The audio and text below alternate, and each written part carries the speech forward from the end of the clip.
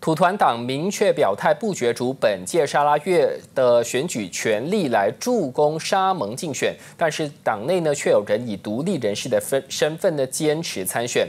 沙州土团党主席扎吉里就证实，违背党章的三人已经自动丧失党员资格。这三个人分别是攻打布拉贾的西奇巴拉利。巴旺阿山候选人瑞奇恩特利以及摩拉端候选人伊斯马威。扎吉里表明，已经给足了时间和机会，让这三个人回心转意，但是他们无动于衷，只好把他们逐出土团。党主席穆尤丁之前已经放话，会对没有经过党允许而参选的党员采取严厉的纪律对付。而稍早前同样擅自以独立人士身份上阵的克联候选人阿里比朱，已经宣布退选。